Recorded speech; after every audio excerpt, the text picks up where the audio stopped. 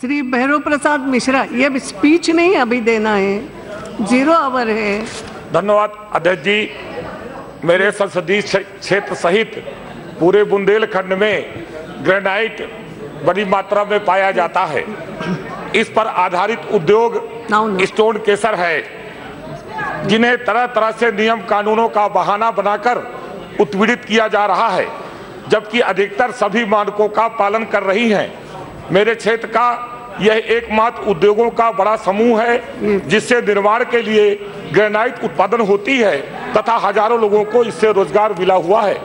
मेरा सदन के माध्यम से केंद्र सरकार से अनुरोध है कि उत्तर प्रदेश बुंदेलखंड के अति पिछड़े क्षेत्र, बांदा, चित्रकूट, महोबा, हमीरपुर आदि जनपदों पर लगे स्टोन केसरों पर गैर सरकारी संगठन, एनजीओ द्वारा बिना कागजों की जाँच पड़ताल किए झूठे हलफनामे के आधार पर एनजीटी एनजीटी दिल्ली ने जो मुकदमे कायम कराए हैं उन जारी अवैधानिक नोटिसों को रद्द कराकर संबंधित एनजीओ आज के खिलाफ उचित कार्रवाई कर इन उद्योगों को प्रताड़ित होने से बचाया जाए जिससे बुंदेलखंड के लाखों लोगों की रोटी रोटी बचाई जा सके और निर्माण के लिए ग्रेनाइट उपलब्ध हो सके। बहुत बहुत धन्यवाद।